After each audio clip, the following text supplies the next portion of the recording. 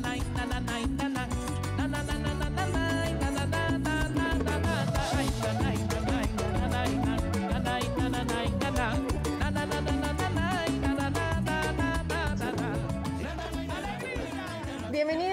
de Noticias Globovisión Espectáculos. Hoy 31 de diciembre, a pocas horas de que ya termine este año 2021 para comenzar con las mejores de las vibras. Este año 2022, este nuevo año que viene con todo lo positivo, eso sí, si nosotros lo queremos. Y tenemos a un invitado especial el día de hoy, Leomil Alvarado. ¿Qué tal? Bienvenido. Gracias, mi amor. De verdad orgulloso, feliz de estar con tu belleza, con tu Gracias. energía tan bonita.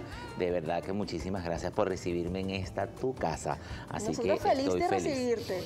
Sí, sí es cierto que acabas de decir que estamos a punto de despedir el 31 y ayer nosotros tuvimos un evento cósmico importantísimo. Júpiter, Júpiter, que es el coloso del universo, el grande del universo, ingresa en la casa de Pisces. ¿Qué significa eso? Significa que este es el momento para empezar la transformación, la transmutación. Y él va a marcar el 2022, porque lo, lo marca en su casa antigua, porque él, él estaba domiciliado en esa casa de Pisces. Pero ¿qué significa que, que- que esté en esa casa? Es el momento para el arte, es el momento para las filosofías de vida. Va- vamos a empezar a ver inclusive cosas o temas que tienen que ver con la migración. Importantísimo. Este nuevo año 2022. Importantísimo eso, porque vamos a empezar a ver y a escuchar cosas que tienen que ver con el tema de las fronteras, porque él rige precisamente los territorios. Y hay mucha gente que pregunta, pero ¿qué pasa con Júpiter? Júpiter expande o multiplica la energía donde él esté. Aparte de que a finales de mm, abril o mayo aproximadamente, nosotros vamos a tener allí un evento bien importante con él porque ese mismo Júpiter comienza a retrogradar en febrero. Así que vamos a estar pendientes por ahí por las redes para, para darle toda la información. tus redes para que las personas estén pendientes porque estoy segura que Leomir Alvarado. Leomir Alvarado. Ahí Bueno, estoy en todas las Queremos redes. entrar en materia y queremos hablar sobre estos artistas venezolanos que, que, bueno, que este año fue también bastante importante, que, que les prepara también el año eh, 2022. Pues estamos hablando de Daniela Alvarado. Ahorita este año se casó y José Manuel. ¿Qué nos puedes contar? Ellos, eh, Danielita es Escorpio y José Manuel es Piscis. Mira, me encanta porque para José Manuel lo- los signos que son de agua van a ser protagonistas. Cáncer, Escorpio. En y el año Piscis. 2022. Cáncer, Escorpión y Piscis se visten de lujo. Escorpio. Cáncer para viajar. Cáncer para todo lo que tenga que ver con viajes, conexiones con el extranjero, el momento de brillar. Para Piscis, momento de introspección, reflexión, momento de ir hacia adentro.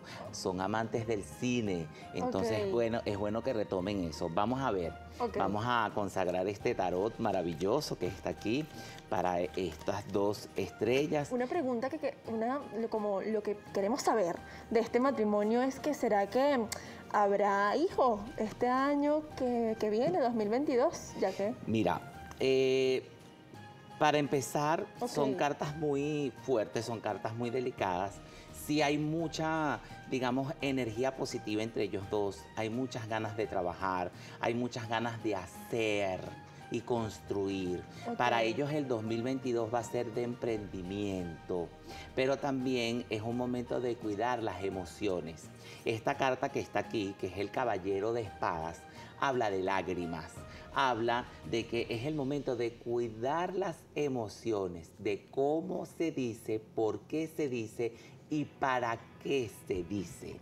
Esto es para ambos y es un momento donde puede haber tensión en la relación o puede haber tensión al nivel alrededor de lo que está alrededor de ellos. Entonces, ¿qué recomiendo? Que es importante que sigan trabajando como lo han venido haciendo. desde hace mucho tiempo. Desde hace mucho tiempo. Sí pueden haber, de repente no hijos, pero sí esos hijos que son materiales. Apertura de negocios, apertura de firmas, firmas que van a ser importantes tanto para él como para ella.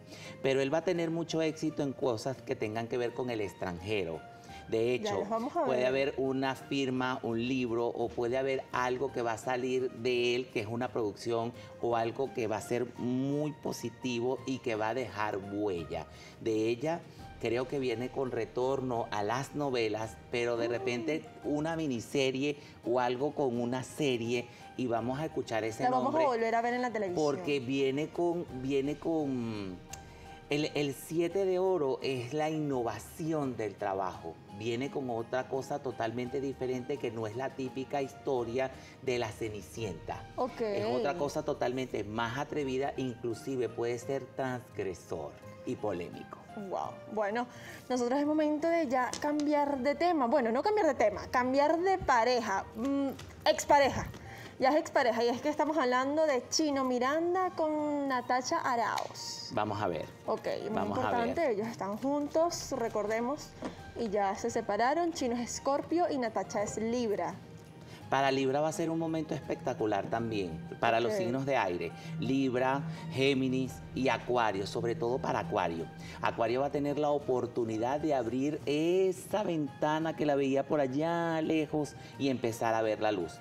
Para Libra es excelente porque todo lo que tiene que ver con lo nuevo, me renuevo y comienzo a renovarme, comienzo con energías totalmente diferentes, distintas. Y para ti, Géminis, que no te voy a dejar fuera, el poder de tu voz. Tu voz tiene poder, tu voz tiene fuerza. Ahora vas a tener una energía totalmente renovada en el 2022. Y muchos geminianos van a retornar al poder. Retornan a su fuente y a su poder. Ahora, Nacho va a seguir restableciéndose. Me gusta porque es el 10 de espadas y este 10 de espadas habla de una limpieza, habla de que se está limpiando, habla de una depuración energética, física, espiritual, pero en este momento él logra el triunfo. Lo vamos a ver brillar en, marzo, abril y mayo espectacular. O sea, viene algo totalmente diferente y viene con una nueva pareja que de repente ya la conocemos. Es decir, que Natacha y Chino ya no vuelven. No, no vuelven, amor bello. Es una decisión. la carta de la decisión es el dos de espadas.